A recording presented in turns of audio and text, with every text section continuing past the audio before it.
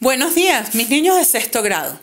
Para esta semana del 29 al 2 de abril trabajaremos el día lunes los conectivos. El día martes realizaremos ejercicios con operaciones combinadas con potencia. El día miércoles trabajaremos el Día Mundial de la Salud.